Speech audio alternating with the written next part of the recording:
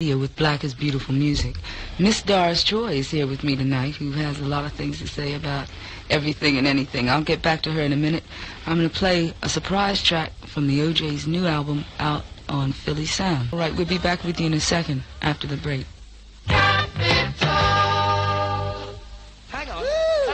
Released to coincide with their current tour, Silverhead's new purple album, 16 and Savage.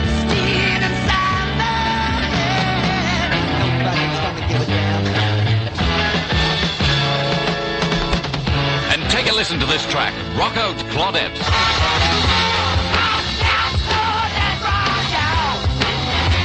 Silverhead's 16 and Savaged album out now on Purple Records and available at Harlequin and other good record shops.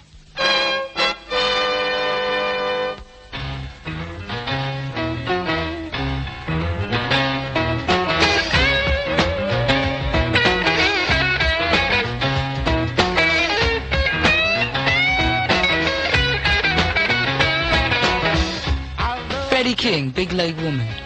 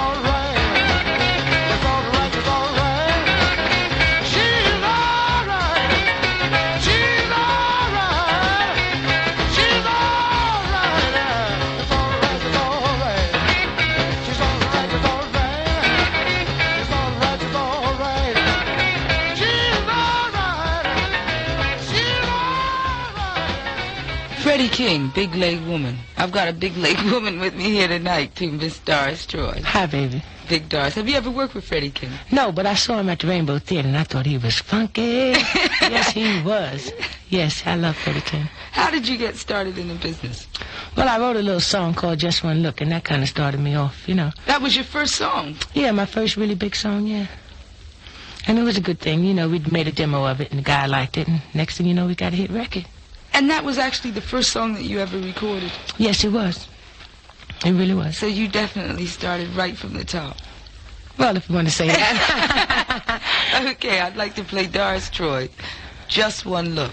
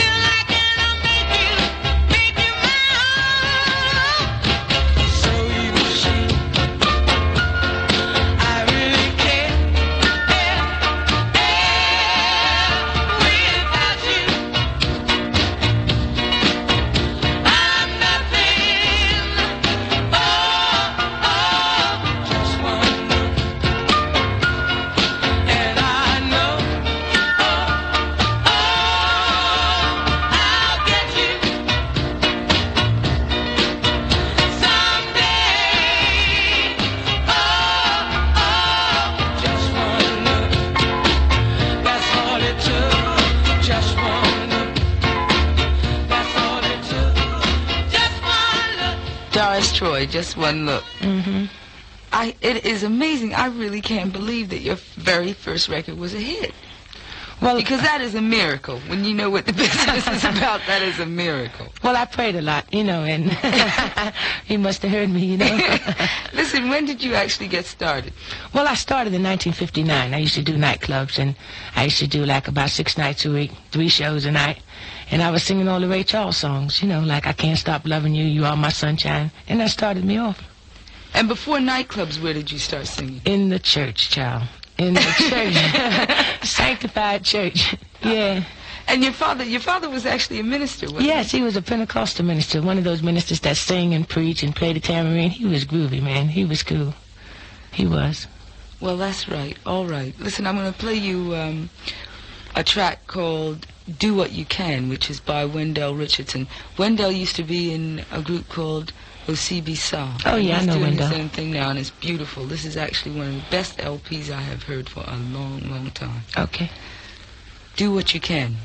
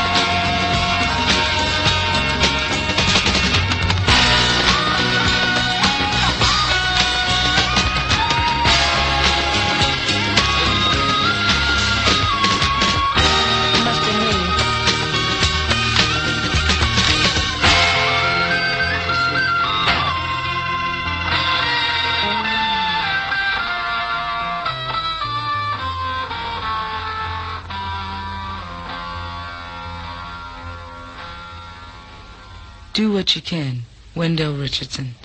All right, that was really nice. The Stylistics have uh, a new LP out called Rock and Roll Baby, and there's a beautiful picture of a little black boy on the front. Oh, yeah? fine. And they have a track on it called You Make Me Feel New.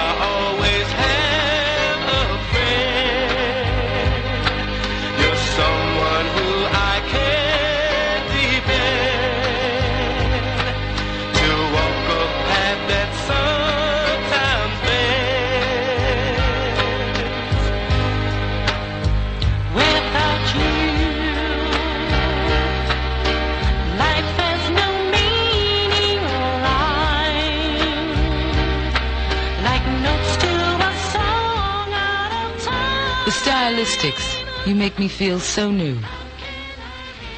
Doris, at the height of your career, you were one of the most successful backing vocalists in mm-hmm. England. Did you also do backings when you were in in the States? Yeah, I did. I used to do a lot of backing for Atlantic Records and Solomon Burke and the Drifters. In fact, that's how I met Dionne Warwick and Dee Dee and those. Did you resent the fact that you didn't make a lot of money out of your sessions, even though some of the songs that you performed on were enormous hits? Well, I always wish that backing singers could get residuals, you know, and royalties, because I would have a lot of money then, you know. But since they don't, then we just charge the highest session fee we possibly can get. you know? But isn't there some way that you can change that? Well, I'm trying every day, Marsha, you know. I mean, we started with nine pounds over here for sessions, and now we've gone up quite a bit now, you know.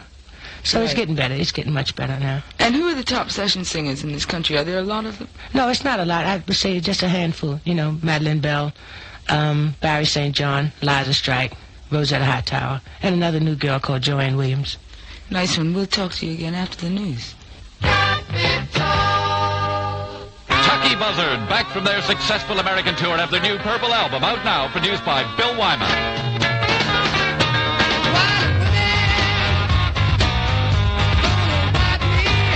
Wine and Women to Run in the Morning.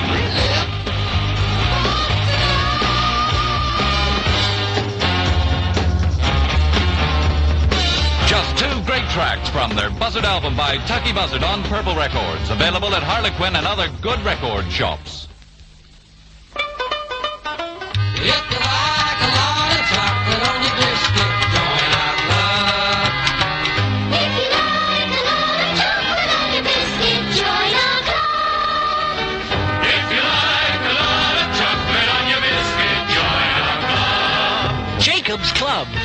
There ever been more chocolate on a biscuit? If you like a lot of chocolate on your biscuit, join our club.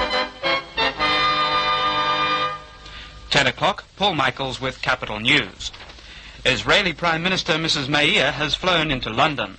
Christopher Hamuzius is at Heathrow Airport. Mrs. Golda Meir arrived at Heathrow Airport at 20 past nine this evening.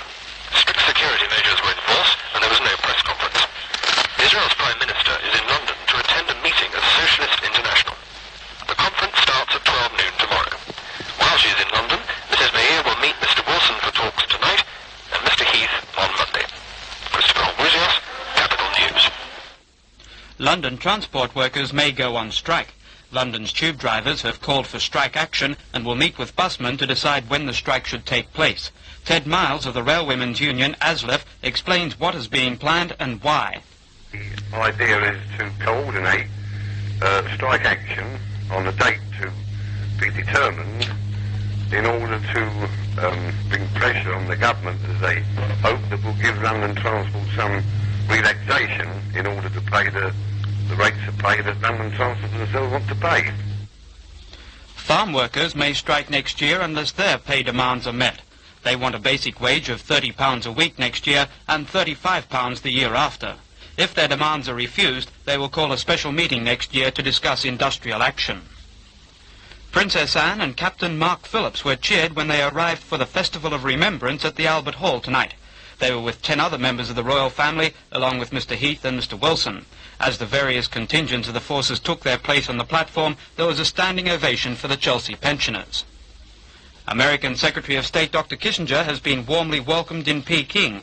He has been given a large banquet in the Hall of the People and has been honored by the Chinese for his Middle East peacemaking role. 51 degrees in London, a dry night is expected. Paul Michaels with Capital News, in tune with London.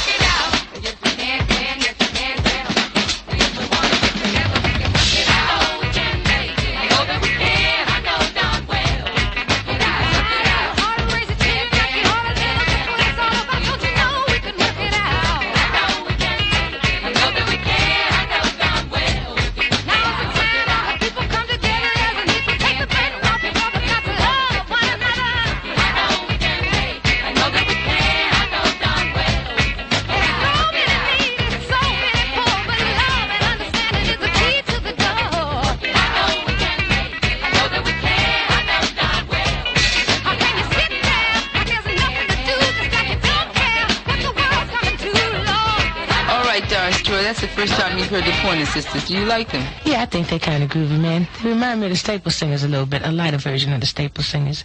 But I like them. I think they're good. They look incredible. Yeah, that album cover is really funky, isn't it? They're all dressed up in 30s clothes, and it's really nice. I noticed that you have changed your style, madam. With your, green, with your little bits of green in your hair. Do you like the green yeah. in my hair, Marsha? Yes, yes. yeah, I, I think like it's it. kind of cute, too. All right. Okay, baby. Whole lot of shaking from the miracles.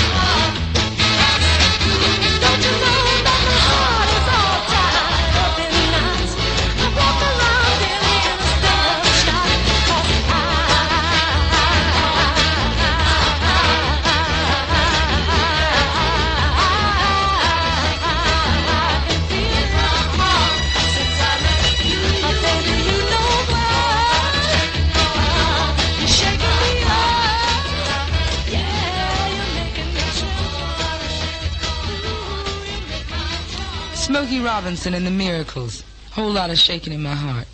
He's so fine. Yes, he is cute, yes. Now, Yes. I have always said I would never marry, but I would marry this man. Would you? yeah, even from his first record, Ooh Wee Baby, remember that? Oh, oh that what? was sexy. No, no, no, that wasn't. Listen, the first big thing he had in the States, remember Bad Girl? Oh, yeah, yeah, That yeah. was beautiful. That was pretty, That too. was absolutely beautiful. Jimmy Cliff has a song called The Harder They Come.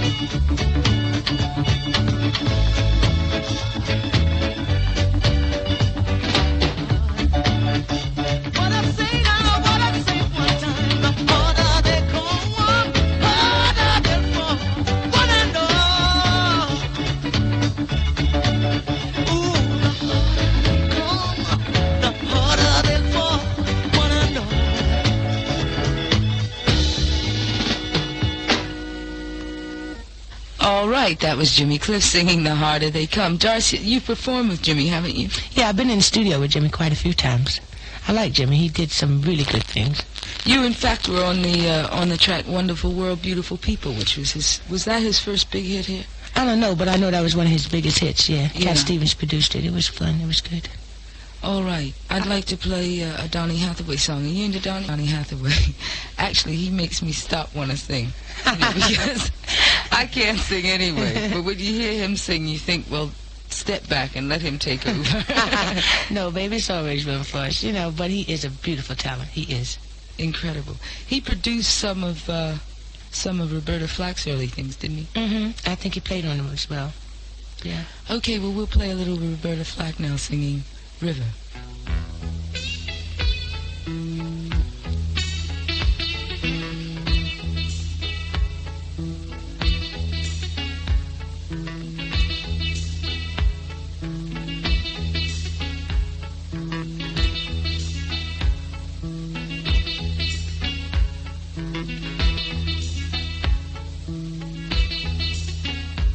There's a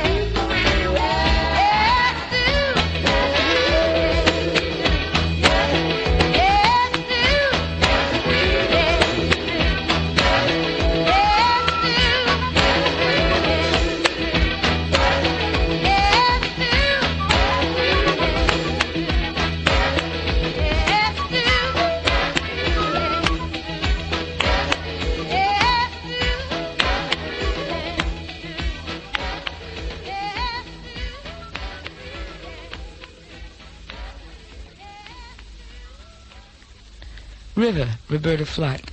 Miss Doris Troy. Yeah, Mama. okay. Now listen, when you came to this country, how long ago did you in fact come to England? Well, um, this time I came in 1969, and then I hooked up with Apple, and I did a few things with them. Did Apple actually bring you over? No, no, I came on my own. I came just to have a little break away from the States, you know. And um, while I was here, I figured I'd get into something. And how did you run into the Beatles? Well, what happened was I did a session with Billy Preston. Madeline Bell called me for a session with Billy Preston, and I walked in. There was George Harrison and everybody. I said, right on, you know. So from there, we started linking up, you know. And it worked out all right. It did. hmm It could have been better, but, well, there you go. It couldn't have been that fabulous, so you'd still been there. Well, that's what I'm saying. right, it could have okay, been better, you know. okay, know. but we'll be subtle about it. Yeah, it was politics, you know. Right, okay. You had a, a track on your album called Games People Play.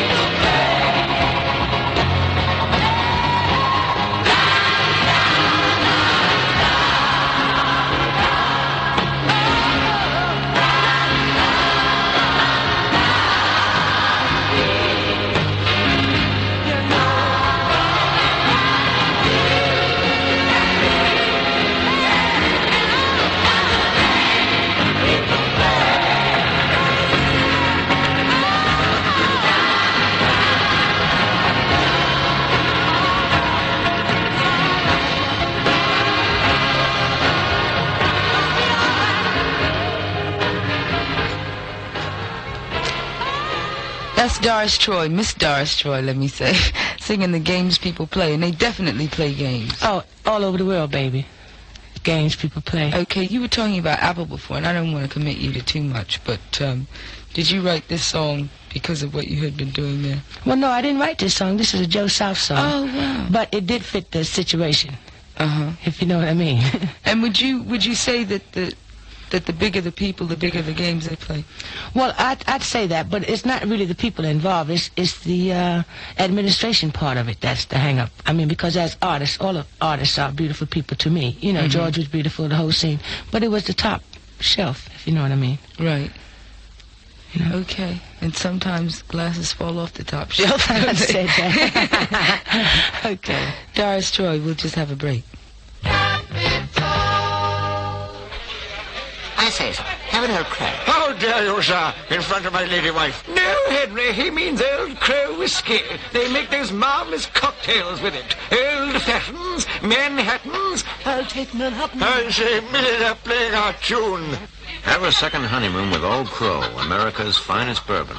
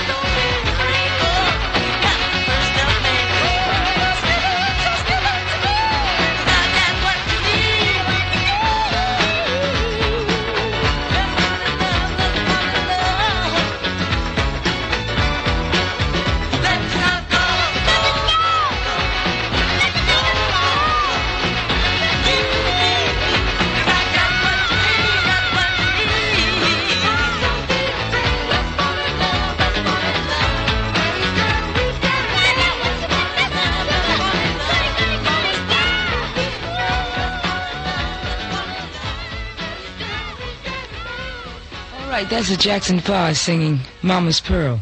There's a group in the States called the Ohio Players who are incredible looking. I should have showed you the cover of the LP because Mm. they've got great big behinds and they wear really tight trousers and they Oh, look yeah. fantastic. Really fantastic. Little midriffs out and Mhm. whatever and whatever. Anyway, they have a track called Ecstasy, which has been a hit in the States.